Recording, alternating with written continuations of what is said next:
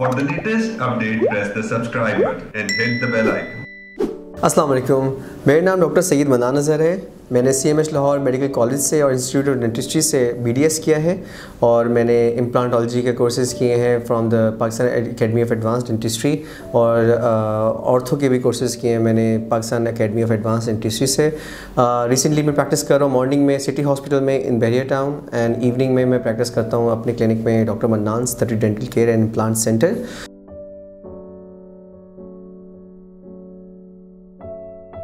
Some times ایسا ہوتا ہے کہ ہمارے دانتوں میں انفیکشن ہو جاتا ہے۔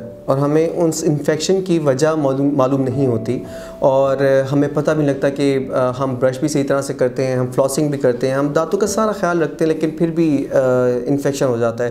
میرے پاس اکثر ایسے پیشنٹ آتے ہیں جو مجھے کہتے ہیں کہ جی ہم برش بھی ریگولر کرتے ہیں، ہم ماؤتھ واش بھی کرتے ہیں۔ ضرورت سے زیادہ ہو جاتا ہے ویسے، لیکن ماؤتھ واش بھی کرتے ہیں ہم ریگولر اور ہم فلاسنگ بھی کرتے ہیں، لیکن ہمارے دانت خود بخود ہی گر گئے اور ہمیں پتہ بھی نہیں لگا کہ کیوں گرے ہیں۔ آج ہم ان وجوہات کو ڈسکس کریں گے۔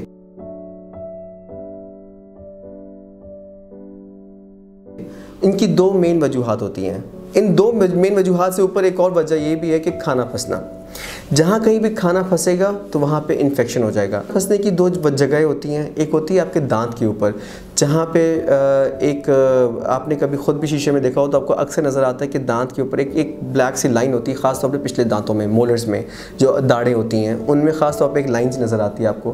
وہ وہ جگہ ہوتی ہے جسے کہتے ہیں پٹس اینڈ فشر یعنی سمجھ لیں ایک دڑاریں جیسی ہوتی ہیں دانت کے اوپر، جس میں کھانا پھنستا ہے، وہ نہ وہ برش سے نکلتا ہے، نہ وہ آپ کے ماؤتھ واش سے نکلے گا اور فلاس تو وہاں نہیں جاتا۔ سو ایسی سچویشنس میں آپ کی اس جگہ سے ہی آہستہ آہستہ انفیکشن بڑھنا شروع ہو جاتا ہے اور وہ بڑھتے بڑھتے آپ کے دانت کے اندر جو پلپ ہوتا ہے جو بیسکلی جو جو زندہ زندہ ماس ہوتا ہے آپ کی جو دانت کے اندر اس سے پلپ بولتے ہیں تو وہاں تک انفیکشن پہنچ جاتا ہے جب وہاں تک انفیکشن پہنچتا ہے تو وہ پھر آپ کے آپ کو تکلیف دینا شروع کر دیتا ہے ٹھیک ہے ایک وجہ یہ ہو گئی جو میں نے آپ کو بتایا، اوپر پٹس اینڈ فشر جو دڑاریں موجود ہوتی ہیں۔ دوسری وجہ یہ ہوتی ہے کہ آپ کے دانتوں کے درمیان میں کھانا پھنسنا وہ وجہ کیوں ہے؟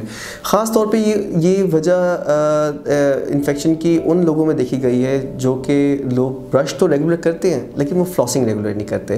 فلاسنگ بیسیکلی ایک میڈیکیٹڈ فلاس جو ہوتا ہے، وہ بیسیکلی میڈیکیٹڈ دھاگا ہوتا ہے۔ ایک عام زبان میں سمجھایا جائے تو ایک دھاگا سا ہوتا ہے۔ وہ آپ کو کسی میڈیکل اسٹور سے مل جائے گا، بہت ساری کمپنیز سے آتا ہے یہ۔ اور آپ اس دھاگے کو اپنی انگلی پہ لپیٹ کے آپ استعمال کریں گے تو آپ کے وہ دانتوں کے درمیان میں جو کھانا پھنسا ہوتا ہے، وہ اس کو نکال دیتا ہے۔ اچھا کچھ لوگ اس پھنسے ہوئے کھانے کو نکالنے کے لیے ٹوتھ پک کا استعمال کرتے ہیں۔ وہ ٹوتھ پک کا استعمال ہرگز نہیں کرنا چاہیے، اس کے بہت نقصانات ہیں۔ اور جو ڈینٹل فلاس کی اس کے بات کر رہا ہوں، اس کے نقصانات بہت کم ہیں، فائدہ بہت زیادہ ہیں۔ اور ان سے یہ ہوتا ہے کہ آپ کے دانتوں میں جو انفیکشن ہے، وہ جو مسوڑوں میں کھانا پھنسنے کی وجہ سے ہوتا ہے، وہ نہیں ہوتا۔ اور اس کے علاوہ ہم اگر بات کریں کہ جی جب انفیکشن ہو جاتا ہے تو ان کے حل کیا ہیں؟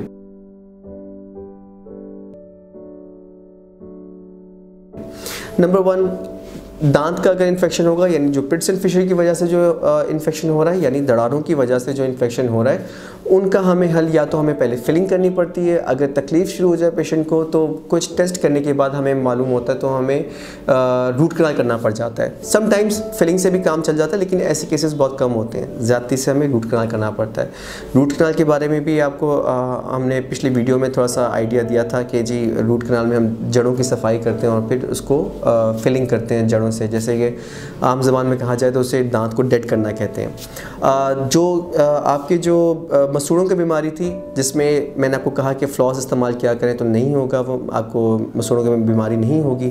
تو وہ جو ان کا علاج یہ ہے، ایک حد تک تو آپ فلاس سے علاج کر سکتے ہو، لیکن اس حد سے جب زیادہ کراس ہو جائے، آپ جب ڈینٹسٹ کے پاس جاتا ہے آپ کو پین ہوتا ہے، آپ کہتے ہیں جی دانت میں بھی انفیکشن نہیں ہے، کچھ بھی نہیں ہے، لیکن مسوڑے سوجے ہوئے ہیں اور مسوڑوں سے خون بھی آ رہا ہے۔ تو وہاں پہ ہم ایک پروسیجر سے کہتے ہیں روٹ پلاننگ کرتے ہیں، جس میں ہم جڑوں کی صفائی کرتے ہیں سائڈ سائڈ سے، اور مسوڑوں کی صفائی کرتے ہیں۔ جس سے کیا ہوتا ہے، مسوڑے صاف ہو، جس طرح صاف ہونے کے بعد اور سارا انفیکشن نکلنے کے بعد وہ اس میں مسوڑے اپنی جگہ پر آنا شروع کر دیتے ہیں۔ جو ہڈی کا لیول جو کہ نیچے جا چکا ہوتا ہے، وہ آہستہ آہستہ اوپر آنا شروع کر دیتا ہے۔ ہاں اگر آپ یہ کام نہیں کروائیں گے، اگر آپ اپنی جو یہ روٹ پلاننگ جس کا میں نے نام لیا کہ مسوڑوں کی صفائی اگر نہیں کروائیں گے، تو کیا ہوتا ہے کہ وہ جو دانت ہوتا ہے، وہ آہستہ آہستہ ہلنا شروع ہو جائے گا اور ہلتے ہلتے ایک دن وہ گر جائے گا۔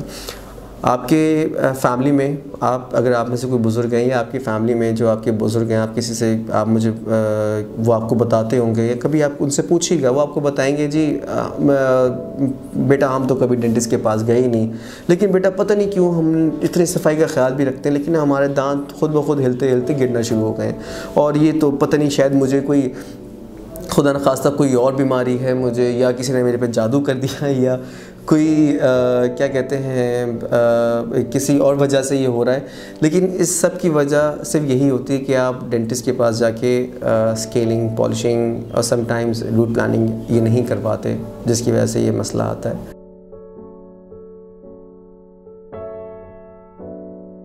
جب یہ انفیکشن ہوتا ہے آپ کو، دو قسم کے انفیکشن دانتوں کے یا مسوڑوں کے، تو ان کی کیسے پتہ لگے گا پیشنٹ کو کہ مجھے اس طرح کا کوئی مسئلہ ہونے والا یا ہو رہا ہے؟ سب سے پہلے تو یہ کہ جب آپ کے دانتوں میں کہیں بھی آپ کی کہیں کالا اسپاٹ عام میں آپ کو طریقے سے بتاؤں گا کہ آپ خود اس بات کو سمجھ سکیں کہ جہاں بھی آپ کو اپنے دانت کے اوپر کہیں بھی کوئی کالا نشان یا کالی کوئی کیوٹی نظر آئے یعنی کوئی ایسی جگہ جہاں پہ کھانا پھنستا ہو، وہ ایسی کوئی جگہ بنے، تو فوراً سے پہلے ڈینٹسٹ کے پاس جائیں۔ سم ٹائمز جب آپ ڈینٹسٹ کے پاس نہیں جائیں گے تو یہ جو چھوٹا سا جو اسپاٹ جو کالا سا آپ کو لگتا ہے، مجھے تکلیف نہیں دے رہا اور یہ بالکل ٹھیک ہے۔ ڈینٹسٹ تو ایسے ہی کہتے ہیں، یہ تو کچھ بھی نہیں، مجھے مسئلہ۔ کچھ عرصے بعد کیا ہوگا کہ وہ کالا اسپاٹ بڑھتا جائے گا، بڑھتا جائے گا اور آہستہ آہستہ وہ بڑا ہو کے آپ کی پلپ تک پہنچ جائے گا، جہاں پہ آپ کی انفیکشن شروع ہو جائے گا۔ جہاں پہ انفیکشن پہنچے گا پلپ میں، تو آپ کو پھر آہستہ آہستہ پہلے پین ہونا شروع ہوگی۔ شروع شروع میں آپ کو ایسی پین ہوا کرے گی کہ جی مجھے میں کھانا پھنستا ہے اور میں بس جی ٹوتھ پک سے کسی چیز سے نکالتا ہوں تو میرا مسئلہ حل ہو جاتا ہے۔ ڈینٹسٹ کے پاس بھی جانا ہے۔ تو پھر کیا ہوگا؟ آپ مطلب یہ آپ تھوڑی بد احتیاطی کر رہے ہیں اور اپنے ساتھ اچھا سلوک نہیں کر رہے۔ آپ کچھ عرصہ اسی طرح گزارتے رہیں گے تو آہستہ آہستہ کیا ہوگا کہ آپ کے جو جو پین ہے وہ کھانا نہ نہ بھی پھنسا ہو تب بھی آپ کو ہونا شروع ہو جائے گا یعنی ہر وقت ہی پین رہے گا۔ پھر اس کے بعد ایک فیز آئے گا جس فیز میں آپ کے جو جو تکلیف ہے وہ اتنی شدید ہوگی کہ آپ کو رات کو سو رہے ہوں گے، آپ کو تب بھی تکلیف ہو رہی ہے۔ صبح اٹھ رہے ہیں، کروٹ بدلنے سے بھی آپ کو تکلیف فرق پڑ رہا ہے۔ کبھی آپ کو بہتر ہو جاتی ہے کبھی تکلیف بڑھ جاتی ہے۔ پھر آپ دوائیاں کھاتے ہیں، خود سے ہی جا کے دوائیاں لیتے ہیں یا کوئی بھی سیلف میڈیکیشن کرتے ہیں جو کہ بالکل غلط ہے، تو کیا ہوتا ہے کہ جی آہستہ آہستہ کوئی درد بھی ختم ہو جائے گی، لیکن پھر ایک ٹائم آئے گا کہ آپ کی وہ سویلنگ ہو جائے گی، شدید قسم کی۔ آپ نے دیکھا ہوگا آئی ایم شیور آپ کی فیملی میں کہیں نہ کہیں کسی نے، آپ نے آپ نے کسی نہ کسی کو دیکھا ہوگا کہ جس میں سویلنگ ہو جاتی ہے۔ وہ یہی اسٹیپس ہیں جن میں بد احتیاطی کرنے کی وجوہات سے یہ سب کچھ ہوتا ہے اور پھر اینڈ میں ہمیں دانت نکالنے پڑ جاتے ہیں۔ So first step first thing first اگر آپ پہلے دن ہی وہ، اگر آپ کو جس دن آپ کو بلیک نشان نظر آیا تھا، آپ ڈینٹسٹ کو جا کے چیک کرواتے اور ڈینٹسٹ آپ کو بتاتا کہ آپ کا کیریز ابھی یعنی آپ کا کیڑا جو ہے وہ بالکل شروع ہوا ہے، لگنا شروع ہوا ہے۔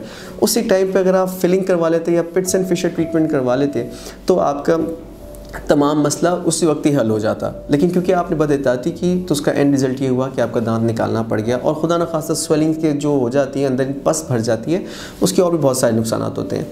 دوسری بات جو میں نے آپ سے کہی کہ مسوڑوں کا انفیکشن جب مسوڑوں کا انفیکشن ہوتا ہے، اس میں ہمیں یہ ہوتا ہے کہ روٹ پلاننگ میں نے آپ کو بتایا کروانی پڑتی ہے، اس میں آپ کو کیسا محسوس ہوگا؟